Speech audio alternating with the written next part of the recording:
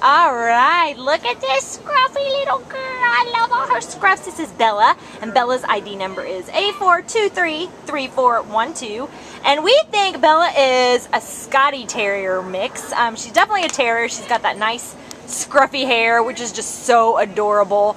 Um, she is about seven years old, and this girl came in as an owner surrender on June 7th because I no longer wanted the responsibility of taking care of sweet Bella.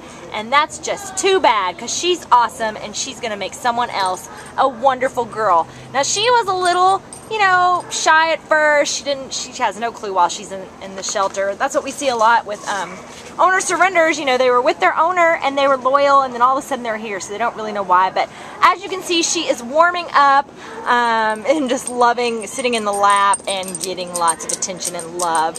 Um, we just know that she is going to blossom when she gets out of here and can find a family of her own that's just going to love her for the doggy that she is because she's just a sweetheart. I mean, she's just um, very sweet and gentle.